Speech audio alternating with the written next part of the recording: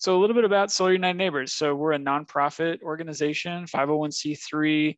We're um, national in scope. So we've got state programs in 12 different states right now. We've got sort of a list and supporters of folks um, in all 50 states. Um, and overall, you know, our mission is to try to build a community around emerging technologies and especially rooftop solar is, is the thing that we really work on the most.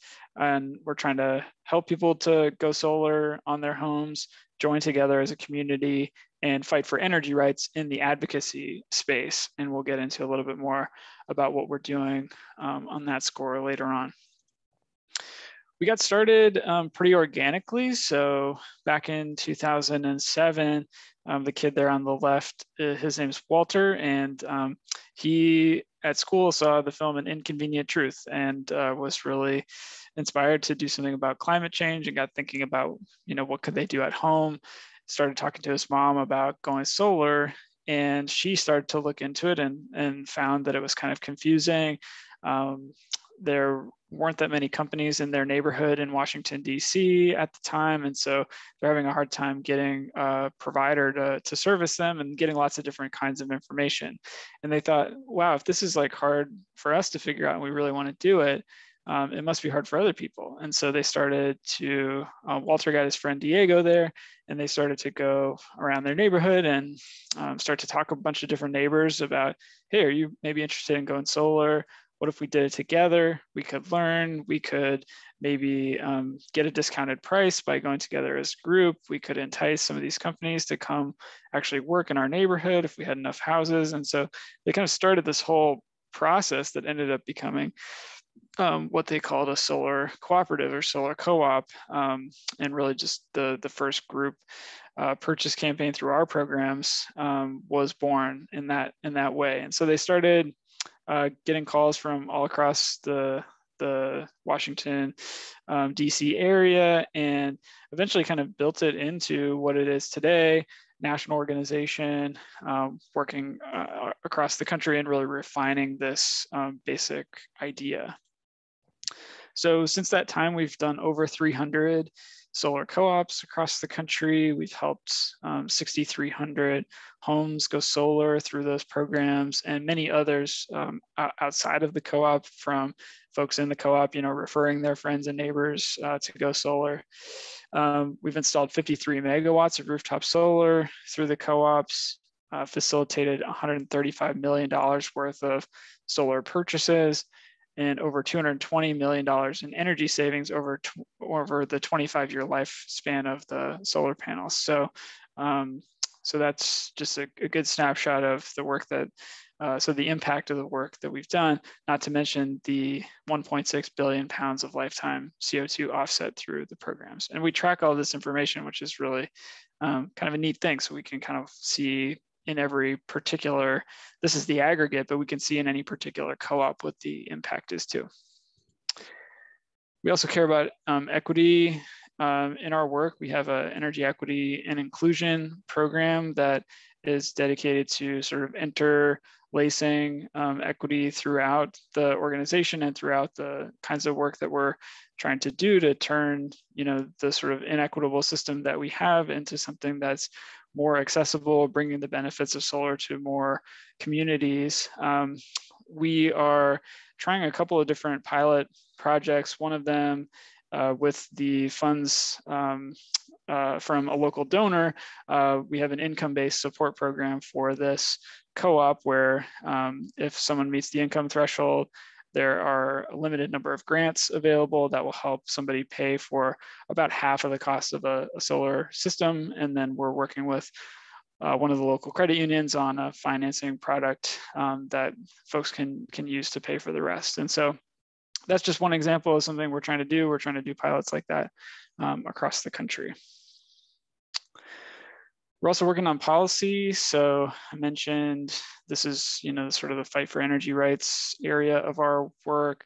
We have a broad um, sort of set of priorities that we've put under this big tent called 30 million solar homes. And it's the idea that, you know, what if in the next five or 10 years we could get one in four households in America powered uh, through either rooftop solar or community solar. Um, there are huge, we've quantified the benefits of that and sort of what that would mean. Um, and it would be awesome for, you know, jobs and for energy savings and for the energy system as a whole. Um, so we're also working on solar policy in the federal legislation and the conversation going on around infrastructure in Washington, DC right now. There's some really great, you know, things that could come out of that bill for solar, um, but the deal's not done. And so we're um, sort of keeping a keen eye on that and we've been weighing in with um, some of the folks in the Arizona delegation. And then at the state level, we're working on uh, stuff at the Arizona Corporation Commission. In particular, there's a big package called the um, energy rules that would get the state to 100% carbon-free electricity. It would also incentivize battery storage um, uh, for homeowners in some cases. And we also get into the nitty gritty of you know rate cases and other things like that. So recently we helped um, to get rid of a grid access charge that APS was charging rooftop solar customers like eight to 10 bucks a month um, just to connect to the grid. And, uh, and us and, and other folks that were sort of making the case in the building, we, um, we were able to get rid of that, which was a big victory. So this is the Tucson Co-op. So if maybe you've signed up for the co-op already and you're here to sort of learn more about us, learn more about solar, that's great. If you haven't signed up for the co-op yet, this is the website where you can uh, read all about it. You can decide if you want to sign up or not. Um, the join the co-op button is the big button. I took the screenshot today, so really exciting. We are up to 135 members. We initially um, set out as a goal of, of 75. Um, so that's really awesome. We've um, had a big impact getting the word out around town.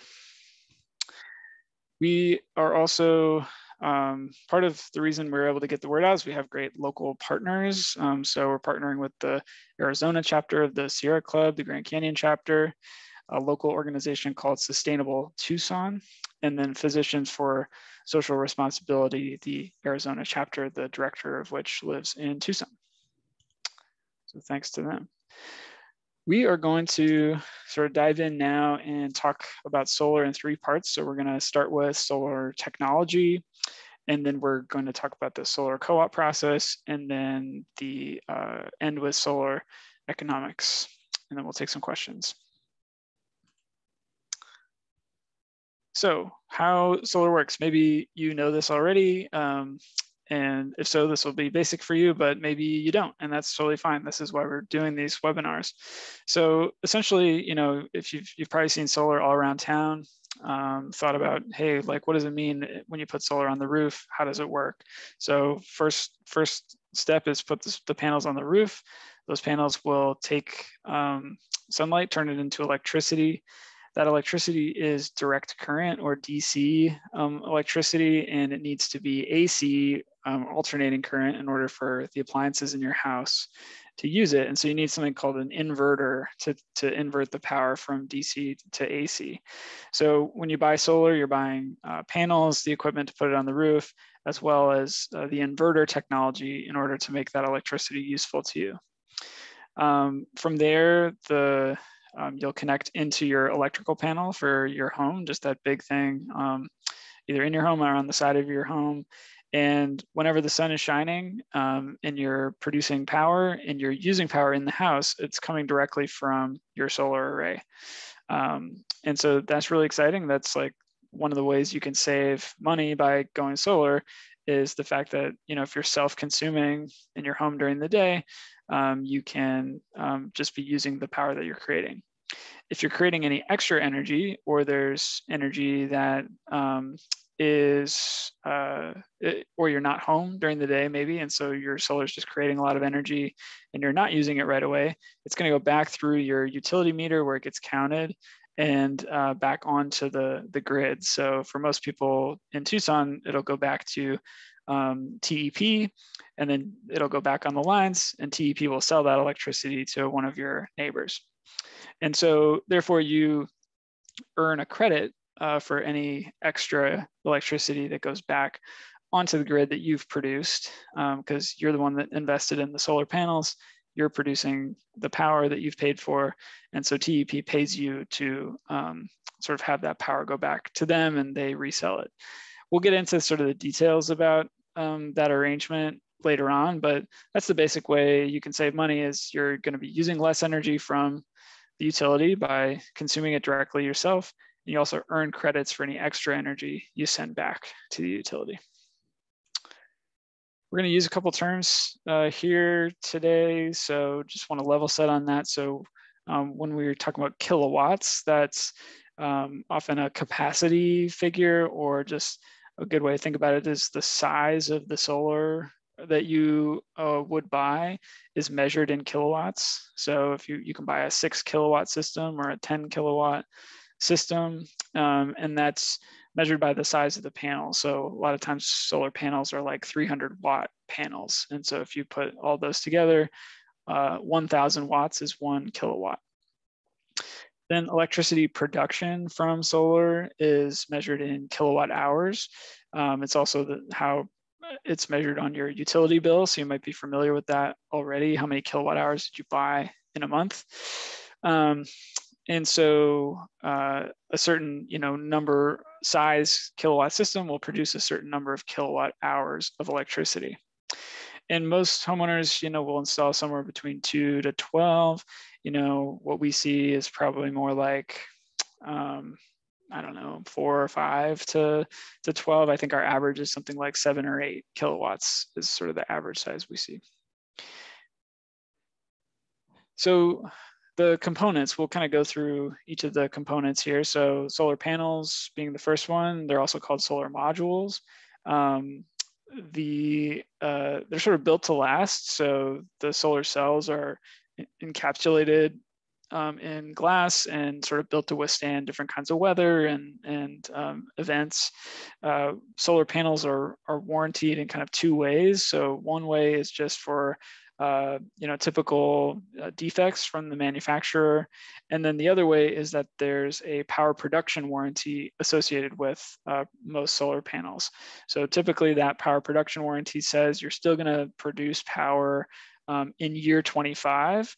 Um, and typically it also says something about how, how much it will produce compared to your year one uh, production. So usually it's around uh, 85 to 90% of the power you'll produce in year one, you'll still produce in year 25 is that uh, power production warranty.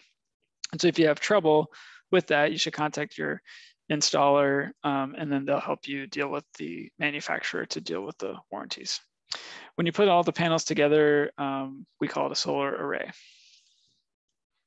So mentioned inverters earlier on. Um, it's another thing to, to know about just because sometimes you have an option for what kind of inverter you should get. Um, and, it, you know, I will say you don't need to be an expert on this. This is uh, something that you can lean on the expertise of your solar installer to tell you either what they like to install in the um, in the area, uh, what work, what they know works for the types of roofs and the types of homes in the area, um, and then also just what they're comfortable with.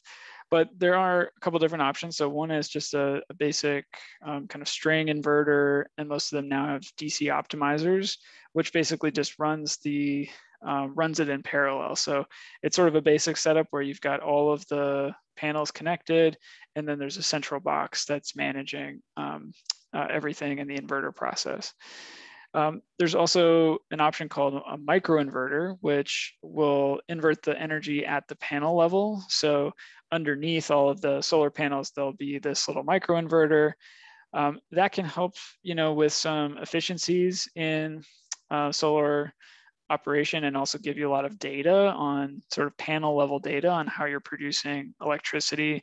So if you like to geek out on data, maybe microinverter, um, I, I, know some people like that and they really like their microinverters, but you know, some, some installers feel strongly one way or the other. So I would kind of ask them what they're um, offering. And then the electrical panels. So um, it's typically a simple connection and most home electric systems do not need an upgrade before solar, but it is something that the installer will look at when they um, are making a proposal specific to your home. They'll want to know what uh, the amp rating is of your electrical panel. So they'll either come by and ask to see it, or they'll ask you to send them a picture of it so that they can um, understand, you know, do you need an electrical upgrade in order to handle a solar system? Um, we get pricing for electrical system upgrades through the co-op process. So you would know um, sort of what the charge would be for that. It's typically something like a thousand to two thousand dollars to upgrade. And then the racking system is how the solar panels get attached to your roof. So this is sort of a typical way it happens on an asphalt shingle roof. Um, there are screws that go into your roof and uh, those are flashed underneath the shingles so that there's no leaking. And then there are beams attached uh, to that, which the panels sort of clip and screw into. So um, there's a different, you know, but not everybody's roof looks like this, right? So there's different ways to put solar on almost any kind of roof type. And uh, most installers are familiar with, you know, most of the roof types that they see in their area. Um, they will do it on asphalt shingle or clay, uh, sort of the concrete clay tile roofs, the newer ones um, with the flashing technique on flat roofs. Um, some will ballast them. Uh, some will use kind of a pitch pocket technology that pitches the panel a little upright so that it uh, collects the sun at the correct angle. Um, metal seam roofs you can clamp solar panels onto. So there's there's almost a solution to any type of roof, um, and so you should just walk through that with your installer when they come and look at your roof. Um, let me say one other thing about roofs, which is the um, the installer will offer you a, um, a labor warranty for uh, the workmanship. And then typically there's a roof penetration warranty as well. So obviously, you know, some of these um, techniques require, um, you know, drilling into your roof. And so if you if you have a leak because of that, um, there's typically a warranty period that that would cover an event like that and those can vary. So make sure to know what that is. You know, ground mount is a is an option for folks that have a, some more space and maybe live um, out in the desert uh, or in this photo out in the country a little bit more. Um, most folks in our urban co-ops are doing rooftop solar, um, but ground mounts are something that folks some folks um, look into. They, they tend to be more expensive because uh, you have to build the um, setup for it to sit on, and it also uh, can require some trenching, which incurs a cost. And so uh, typically the rooftop uh, is going to be a cheaper option. So what's a good roof for solar? Is my roof good for solar? A couple ways to know. Um, so one is, you know, which direction does your roof face typically, or like the, the best, biggest part of your roof face? Um, south is definitely the best. That's where you're gonna get the most exposure.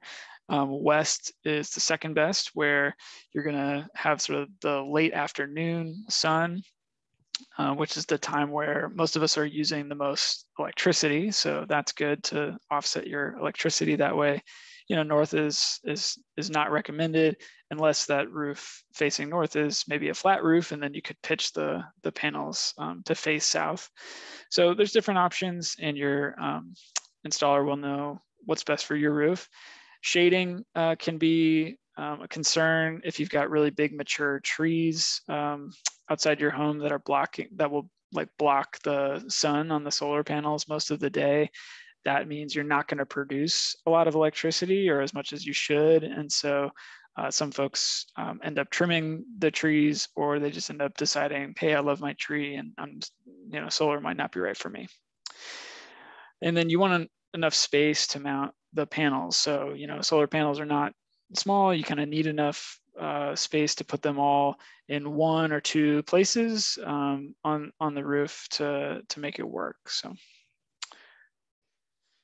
So there was a question about batteries. We're going to talk about batteries here for a couple minutes, but we can get into more detail later on if folks want to. Um, so, you know, what happens if the power goes out and you have solar, your inverter actually shuts down. So that's a safety mechanism. They don't want uh, all this electricity flowing out to the grid when utility workers are trying to fix um, whatever problem happened.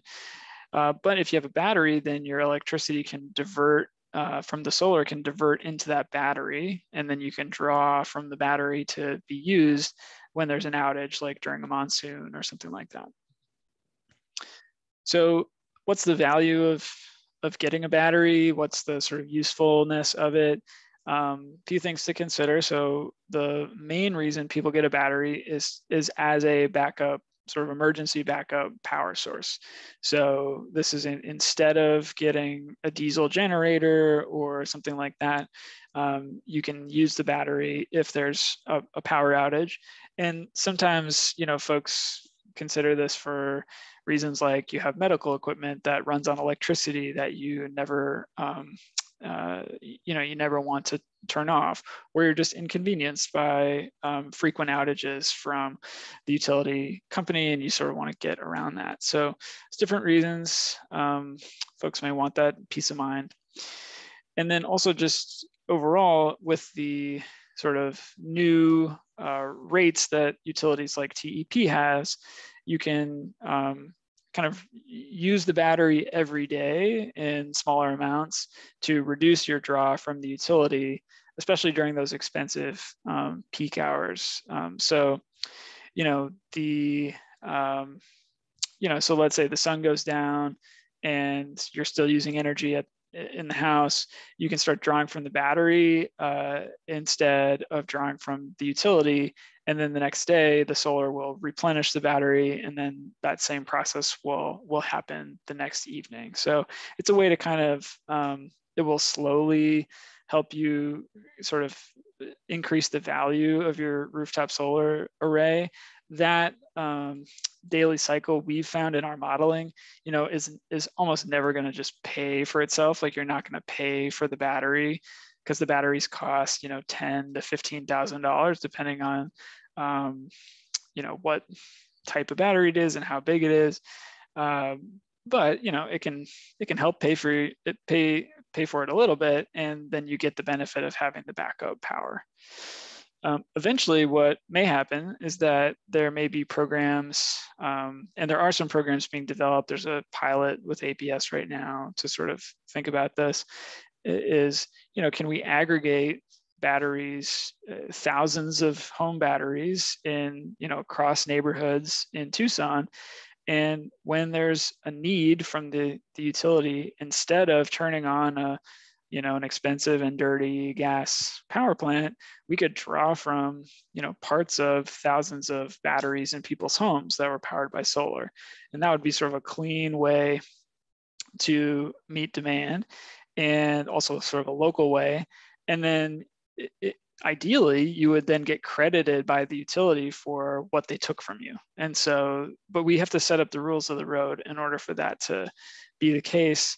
Um, you know, in this pilot project, APS is paying, uh, giving people uh, an incentive up front. It's like three thousand dollars or something to install the battery, but then, but then to get the incentive, you have to sort of sign away your right to for the utility to draw the power a bunch of times a year. And so, um, so we're we're just starting to have these conversations, and eventually it could be another way to increase um, the value of getting a, a battery.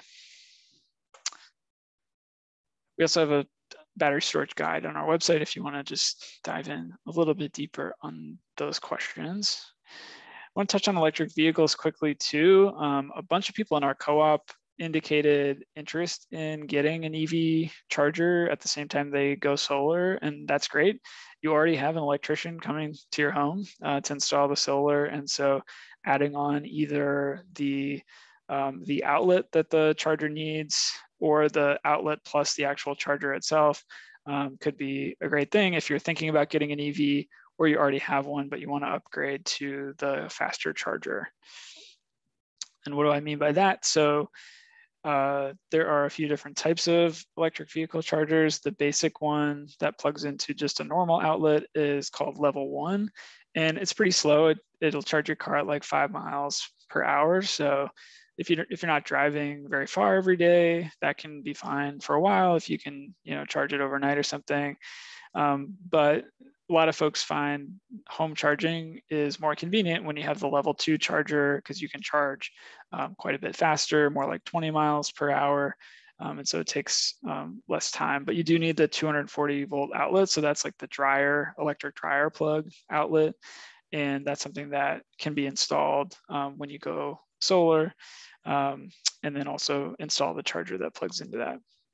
The DC fast chargers are, are commercial. So that's like out um, something, something you wouldn't install in your house. All right, we're gonna go on to solar co-ops, but if you have any questions, please put them in the chat or the Q and A and uh, Vincent will try to answer that or we'll um, answer it verbally at the end. So why go solar through the co-op? Why work with us? So I think, you know, one main reason is that we can provide competitive pricing by having lots and lots of people from the same area going solar at the same time. So uh, when we put the RFP out for the Tucson Co-op, we had almost 100 participants um, signed up. So installers are, uh, you know, excited by that um, and definitely want to earn the business. Uh, the co-op only picks one installer, and so uh, so the you know some of the bids that we get can be pretty competitive. You also get um, support from Solar United Neighbors throughout the co-op process. So you can email us, you can call us uh, if you have a question, if you're uh, in an uncomfortable situation with the installer for whatever reason, we can help to sort of be the go-between uh, between the parties. So there's um, there's support there from us. Uh, you can also learn more by participating on the co-op selection committee. So um, we'll get into sort of the more of the details of this in a second, but the we do not pick the installer. We facilitate the bidding uh, of the installers and compile the information. And then we hold a selection committee meeting where you all, the co-op members, will um, sort of review that information, we'll answer your questions, and then you discuss amongst yourselves and pick one installer based on the bids that we um, have uh, procured. So uh, by participating in that that process, it's usually like a two or three hour meeting. We're having it next week. So if you sign up for the co-op, you can uh, be a part of that if you want. Um, you know, I think folks kind of walk away having learned a ton about all the things that go into um, working with a solar company. And then just overall, you know, we want to you know facilitate a, a, a, solar movement in Arizona across the country, um, help people meet each other, help to um, win policy victories. So there's a lot there's a lot sort of being a part of our network. Hopefully that you'd get out of. This is the um, sort of step by step for the co-op process. So the first three steps are really just about growing the co-op, getting the word out there, educating the community, the step four is all about um, the RFP process. So usually once we hit about 30 folks in the co-op, in this case, we were at like 94, uh, just because it grew really fast over the course of a week. Um, and so uh, then we'll, we'll issue the uh, request for proposal is RFP. Um, we then will compile the bids. We'll, every installer submits three references, which we call and, and talk to and provide um, some snippets from to the selection committee. We check and make sure they're licensed in the state to do business. Uh, we check the um, sort of equipment that they're offering by getting spec sheets and uh, we'll list all the, the warranties that they're offering as well. Um, and then we facilitate that process and the co-op members pick one company.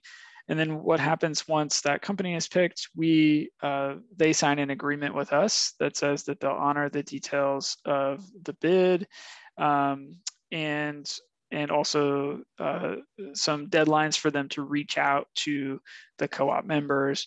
There's also going to be a deadline for folks to sign a contract. Um, so because we cannot ask these companies to offer the co-op price forever, it's usually a pretty um, you'll have enough time to sit with it. There's not pressure involved in this. Um, and I should say, like joining the co-op is free. Uh, there's no obligation to go solar. You can just do this to get information, um, and then it's up to you whether you want to decide to go with the company. You're you're also able to, um, you know, get bids individually outside of the co-op if you want to um, to compare what you're being offered inside the co-op. Um, from there, and then the proposal you'll get is is not you know this isn't one size fits all. So the installer is going to look at your house, going to look at your electricity bill, it's going to look at your roof, um, going to have a discussion with you about your budget and your needs, and then uh, present you with uh, a proposal that's specific to you, but based on the, um, the co-op pricing. Uh, and from there, you can decide whether you want to move forward and then work with the installer to uh, get your system going. Um, what's in it for us? So we get a, um, a $600 referral fee from the installer for every contract that's signed. That helps us to fund the Solar United Neighbors programming. Um, it actually doesn't usually pay for all of the work that we've done to sort of bring the co-op together, do the webinars like this, facilitate the bidding and all that stuff. Um, but it does help. And typically that fee is lower than the cost that the installer would have undertook to um, go out and market and find new customers. So that's pretty much how it works. I should say folks going solar now should be prepared to sort of have patience and wait um, because of the disruptions in the economy. We're hearing from installers that wait times are up, that sometimes they're having difficulty securing different types of, of panels and there are shortages and things like that. And so there's, um, we're just kind of in a weird time for that. And so folks should just be patient as they go forward in, in the process. So just to recap, who picks the installer? It's not us, it's you. Um, we're gonna provide you with a lot of information, uh, the selection committee anyway, uh, and they're gonna make a decision on behalf of the group. So last year we did this in Tucson. Um, we had a great, uh, a great co-op. We had 167 households sign up for the group. Of those 61 uh, ended up signing contract and went solar and you might think oh wow that's like a big drop off but actually in in the industry getting like about a third or more than a third of the households to go solar out of a, a list is really good um, so you know this there was a lot of excitement and, and interest uh, that that went into this the group installed um, 435 kilowatts of solar and invested uh, just about 1.2 million dollars in solar equipment. Um, and the local company that was chosen was Technicians for Sustainability, who you, you may or may not have heard of or be familiar with. They've been doing solar in Tucson for about 20 years. Um, okay, so we're gonna move on to solar economics. So solar, you know, is increasingly affordable, though over the last few years, you know, prices have kind of um, leveled off as you know we've sort of reached this point where it's just you know it, prices have if this chart was back to like 2010 even you would see just like the dramatic um, drops that have that have taken place. What's interesting about this chart is that we've looked at both the national average for price per watt compared to the average solar united neighbors um, co-op price per watt. So we cannot ever you know guarantee a discount by going through the co-op. It's why people are free to you know shop around. Um, but you know, typically we see something like 15 to 20 percent uh, difference between pricing uh, for uh, sort of the average price versus the um, co-op price. So, and this is the sort of a breakdown of the costs in the in the industry of you know solar. So, what are you paying for? And you know its system components the actual components have become kind of a less less of a cost. Uh, labor stayed about the same. And then soft costs which are you know uh, permitting and uh, design and uh, but also marketing and like finding customers. And so the, the solar co-op as a way to you know bring everyone together work with one company, that can help to reduce um, that part of it, and hopefully that um, savings can get passed on to you. We're going to talk about incentives here and what it means to go solar with the local utility. Um, so first on incentives, the biggest incentive available for folks going solar right now is the federal tax credit. Um, so this is um, a percentage of your total cost. So um, turnkey system, labor, uh, parts, everything included, you can write off uh, right now 26% of the cost of that system. So in this example, a you know roughly $19,000 system, um, you can write off about $5,000 uh, off of your federal income taxes um, for installing solar.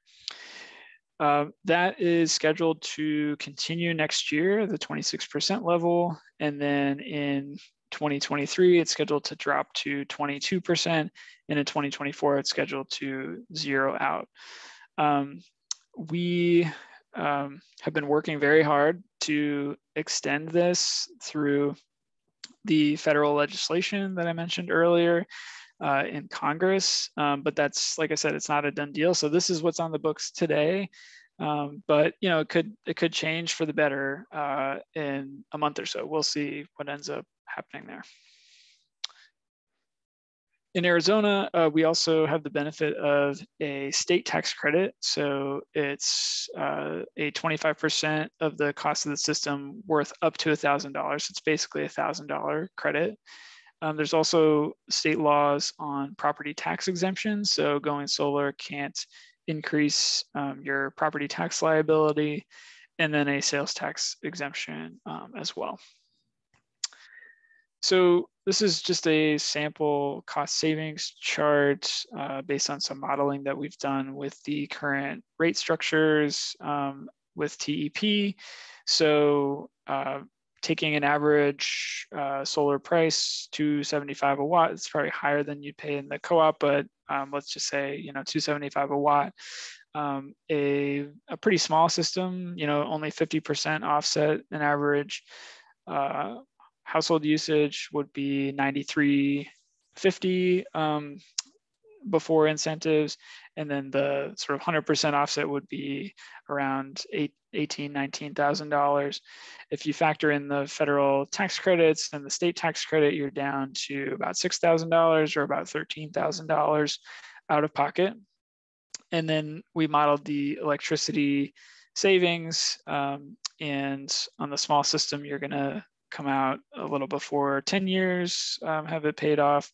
And on the large system, a little more than 10 years, um, have it paid off. So let's talk about the TEP rates a little bit. And I don't want to, you know, get into, we can definitely in the Q&A get into more detail if, if folks want, um, but just so you know how it works with the, the rate structures at TEP right now. So, you know, most new TEP solar customers select um, the regular time of use plan. Um, and on this plan, um, there are peak hours. So there are times energy costs more um, and solar can help you offset those higher costs during those hours. So in the summertime, 3 to 7 p.m., power is more expensive. And of course, the sun is, is up for most of the, that time. Um, and then in the winter, the peak hours are 6 to 9 a.m. and 6 to 9 p.m. And that's Monday through Friday, so including federal, uh, excluding federal holidays. So um, just something to be aware of. Um, and then the other options um, have something in them called a demand charge, which is will charge you based on how much energy you're using all at once during those peak hours.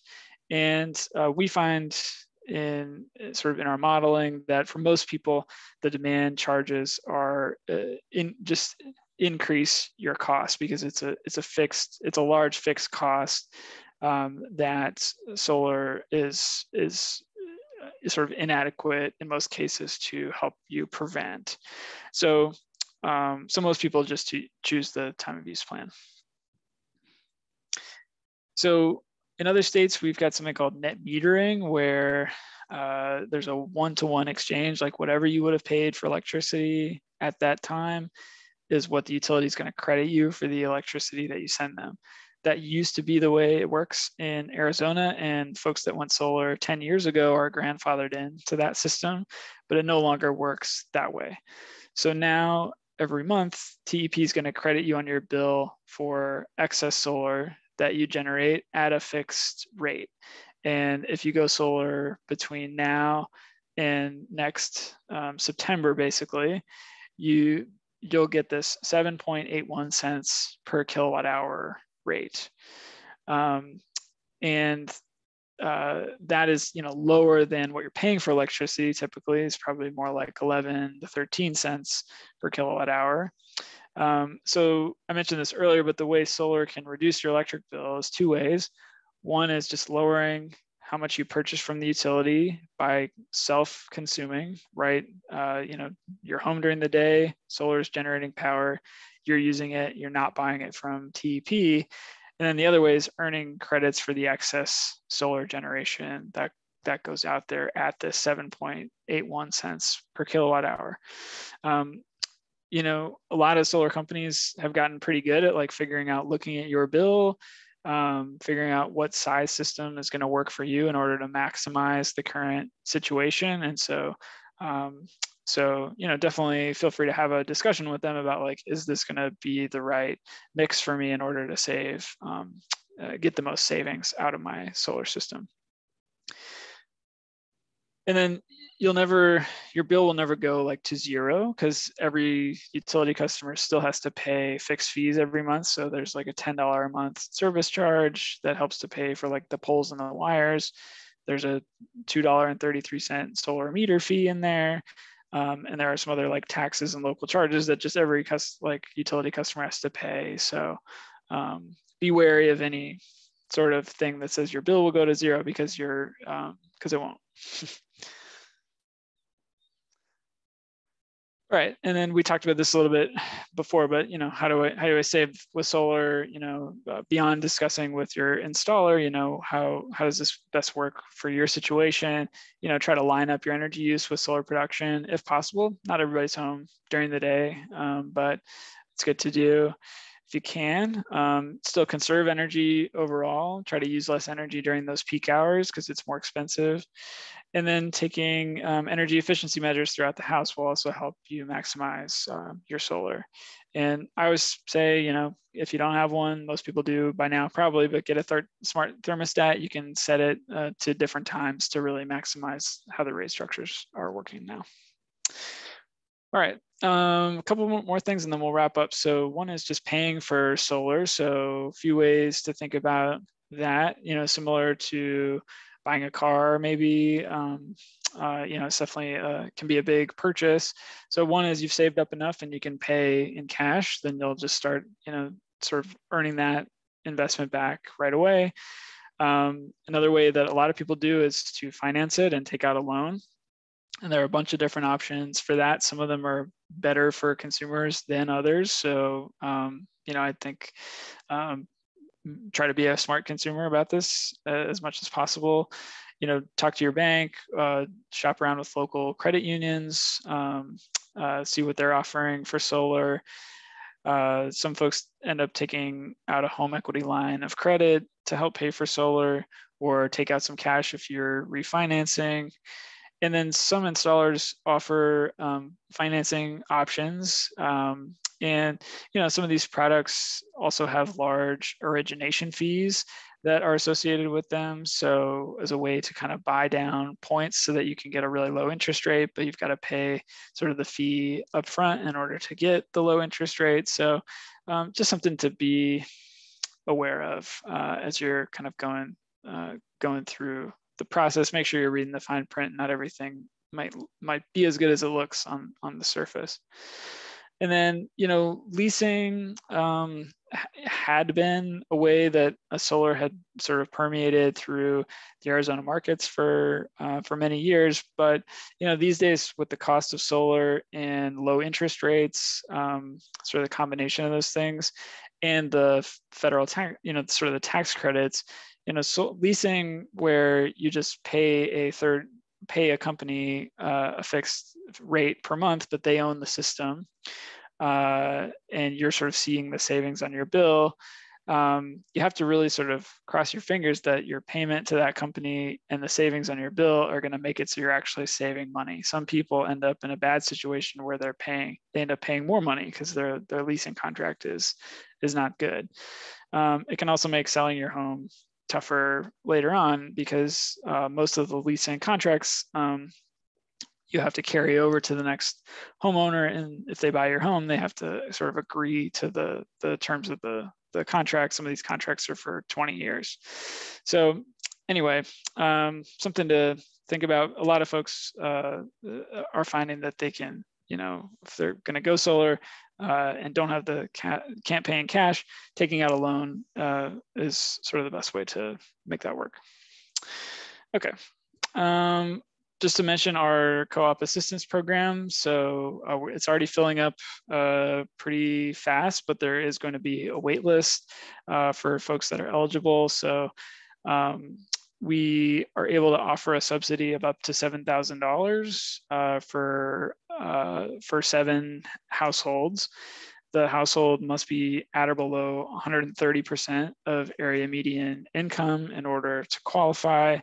And when you sign up for the co-op, you can indicate if you want more information. We'll send you an application um, to fill out and be in touch with more details about that. But we're excited to, um, you know, this is a pilot project and uh, we're excited to, you know, hopefully help a set of folks that couldn't otherwise afford to go solar, do this um, with the support from a local philanthropist in Tucson. Okay, so uh, what's next? And then we'll take some questions. So uh, again, here's the co-op website. Uh, check it out. There's a bunch of information there. That's where you can join the group. And then if you're here from uh, representing a solar company, um, hello, that's awesome. Uh, we, you know, love partnering with installers on our co-ops. And so if you go to this section of our website, you can read more about how to get on our RFP list. Um, and so then you can get alerted to working with us. The RFP for this project is uh, closed on uh, Monday, and we got five bids from, I think it was five, Vincent should confirm that, but I think we got five bids from local uh, solar companies to serve the group. All right, thanks very much. So I'll stop there, and we've got about 10 minutes uh, left to answer any questions that uh, we didn't get to in the chat. So uh, feel free to put anything in the chat or the Q&A. Thank you very much.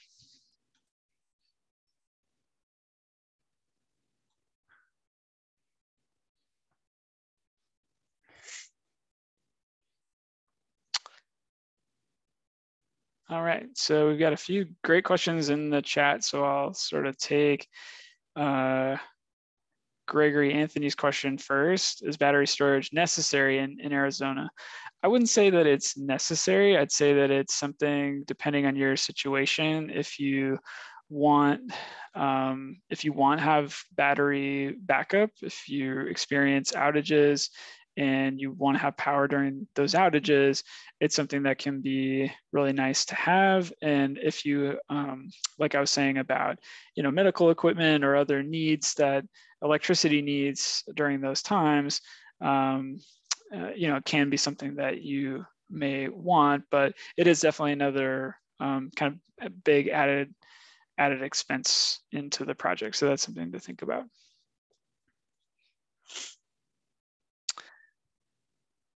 Um, okay, so we got a few questions, a couple more questions here.